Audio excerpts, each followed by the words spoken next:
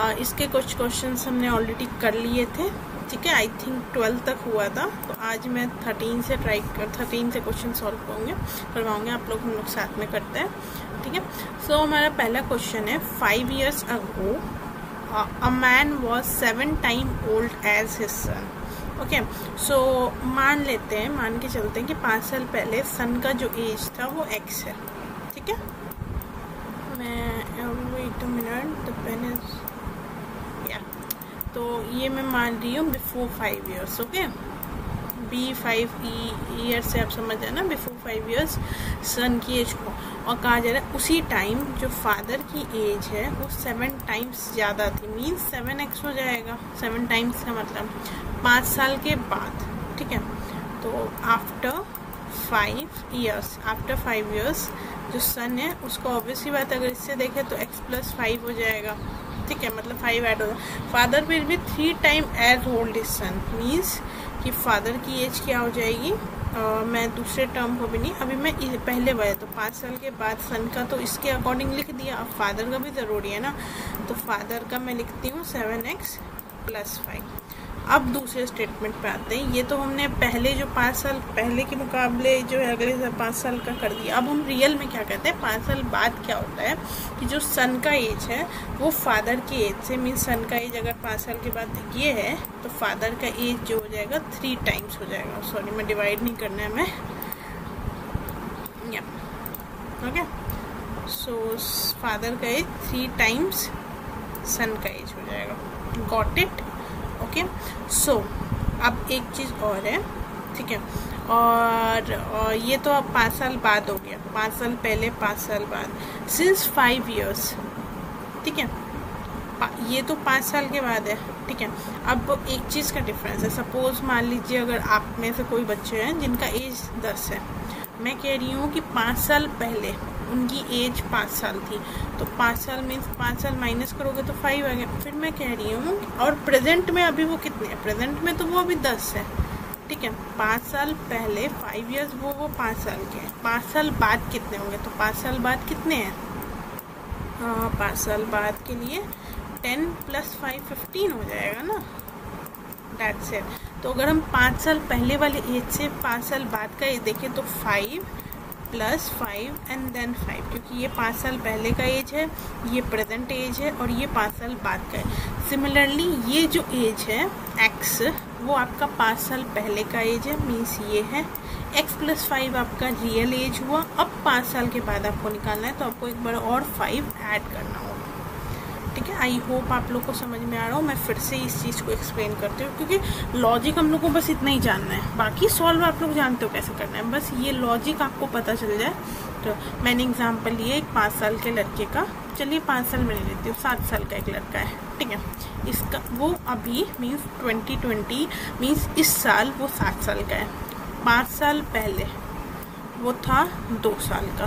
Got it पाँच साल के बाद वो बनेगा कितना बारह साल का ओके तो जब मैं इससे कंपेयर करूँगी तो ये होगा two plus five plus five okay जब इससे कंपेयर करूँगी तो ये होगा सेवन प्लस फाइव और इससे तो खैर बारह ही सिर्फ़ होगा। गॉट इट तो जब मैं यहाँ कह रही हूँ कि पाँच साल पहले सन का एज एक्स था, और यहाँ पाँच साल पहले फादर का एज सेवन एक्स था।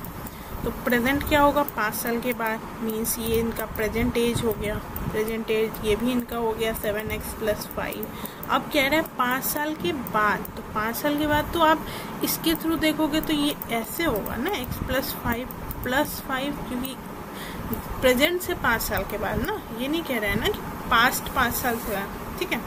सिमिलरली आई होप आप लोग समझ रहे हो मैं क्या कह रही हूँ। ठीक है? आप बस ये एग्ज़ाम्पल देख लो। मेरे से ये पूछ रही इसका इक्वेशन दिया है और जब मैं इससे कंपेयर करूँगी तो दो बार ऐड करना होगा ना, वही मैंने दो बार ऐड है। क्योंकि जो ये एक्स है, वो वो ये है, पाँच साल पहले वाला इक्वेशन है, ठीक है?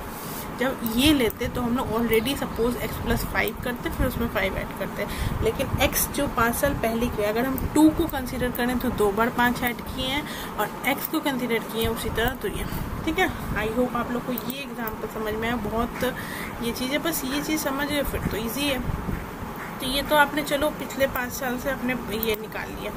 एक्चुअल में क्या कह रहा है कि पाँच साल के बाद जो फादर का एज है वो सन की एज से थ्री टाइम्स हो जाएगा। मीन्स फादर का एज कितना है? हो रहा है सेवन एक्स प्लस फाइव ये हमने निकाला जो एज्यूम करके मीन्स हिट एंड ट्रायल करके, वो थ्री टाइम्स हो जा रहा है सन के। तो सन का पाँच साल के बाद एज क्या है? X plus five plus five है ना? और फादर का प्रेजेंट पाँच साल के बाद हमने यहाँ कैलकुलेट किया। बस, आपने तो इक्वेशन बना ली लीनियर इक्वेशन अब जस्ट आपको एक्स की वैल्यू निकालनी है, उससे आपको निकाल लेना है। ठीक है? तो बस लॉजिक का खेल था लॉजिक का लॉजिक आपने निकाल लिया। फिर तो आंसर तो आप दो मिनट में निकाल लोगे। चलिए सॉल्व करते हैं। Seven x plus five equal to three x और ये टेन तो थर्टी हो जाएगा। थ्री एक्स को इधर भेजते फाइव को इधर भेजते हैं। Seven x minus three x thirty minus five two x equal to sorry पाँच प्लस पाँच होगा ना, उसमें आपने याद नहीं दिलाया। तो टेन होगा ये ओके तो टेन इधर आएगा। तो ये हो जाएगा ट्वेंटी। तो एक्स की वैल्यू हो गई ten.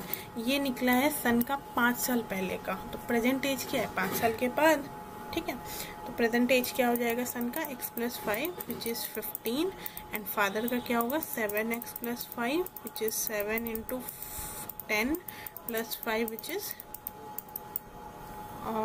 seven into five thirty five and thirty thirty five हो जाएगा। ठीक है? और ये हो जाएगा x प्लस फाइव तो x की वैल्यू आपकी फाइव आई है टेन आई है।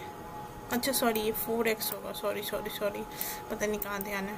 एक्स की वैल्यू फाइव तो ये हो गई टेन ईयर्स और ये हो गई सेवन फाइव जो थर्टी फाइव और thirty five plus five forty years okay got it मैं एक बार फिर एक्सप्लेन कर देती हूँ। लेट दी सन ऑफ़ सन मैंने इसको लैंग्वेज में लिखा हुआ है।